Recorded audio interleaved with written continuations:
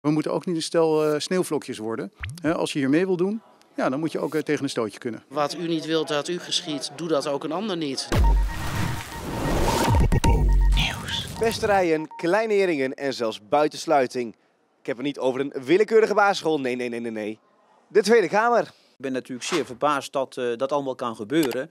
Uh, ik moet wel zeggen, ik heb dat zelf nooit persoonlijk uh, meegemaakt, ook niet met medewerkers hier. Ik heb zelf niet de ervaring dat ik geschoffeerd of geïntimideerd of uitgescholden word. En zelf doe ik dat ook niet. Ik bedoel, ik behandel mijn medewerkers gewoon hartstikke goed. Ja. Maar u bent ook moeilijk te intimideren. Ja, ja, nee, maar krijg je ook niet zo snel van mijn stuk. Maar de cultuur kan verschillen van partij tot partij. De ene Kamerlid kan wat uh, robuuster zijn dan de ander, of uh, wat eerder boos zijn dan de ander. En het kan zijn hè, dat iemand anders, wat ik denk van, ah joh, dat iemand anders denkt van, ja, fuck, weet je, waarom, uh, nou, dat het iemand wel wat doet. Je moet ook niet vergeten dat alles hier politiek is. Hè? Dus wat je leest is waarschijnlijk nooit precies wat het is. En mensen proberen elkaar pootje te lichten. En ik vind in zijn algemeenheid dat in Nederland mensen die niet functioneren, uh, heel snel naar het middel grijpen van oh, uh, grensoverschrijdend gedrag.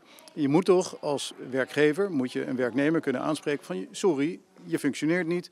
En we gaan er wat aan doen. En dat kan best wel uh, onprettig overkomen, ja. Dagelijks bestuur, daar gaat het natuurlijk om. Dat ligt onder vuur onder leiding van Vera Bergkamp. Hoe kijkt u daarnaar? Vera heeft natuurlijk wel juist omdat die geluiden er waren, die heeft dit onderzoek geïnitieerd. Hè? Dus dat geeft voor mij aan dat ze niet de kop in het zand steekt.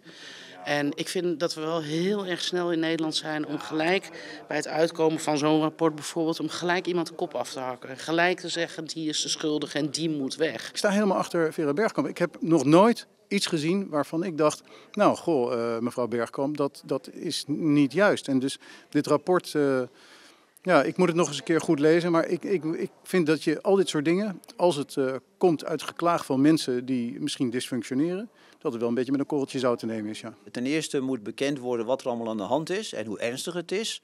Uh, en dan moet daar denk ik wel een debat over komen, ook in de Tweede Kamer. Het is natuurlijk nooit fraai dat je in de Tweede Kamer gaat praten over jezelf alsof je zelf het probleem bent. Maar in dit geval, om het vertrouwen te herstellen, denk ik wel dat dat moet gebeuren. Kijk, in het onderzoek is een beetje gepresenteerd alsof het hier gewoon één grote hel is om te werken.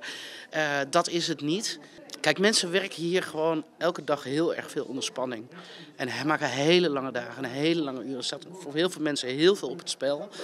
ook banen staan op het spel. Je wil graag die baan houden of je wil graag Kamerlid.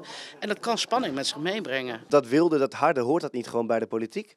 Ja, maar je moet in onderlinge verhoudingen en met medewerkers gewoon normaal kunnen opereren. Kijk, als je, als je het nou hebt over dat Kamerleden medewerkers uitschelden of tegen schreeuwen of met flessen door het kantoor uh, gooien, is natuurlijk niet normaal. Maar uh, ja, we moeten ook niet een stel uh, sneeuwvlokjes worden. He, als je hier mee wil doen, ja, dan moet je ook tegen een stootje kunnen. Wat u niet wilt dat u geschiet, doe dat ook een ander niet. Dat is mijn motto. Nou, dan kom je heel eind mee in het leven hoor. hey, waarom sta je hier vandaag?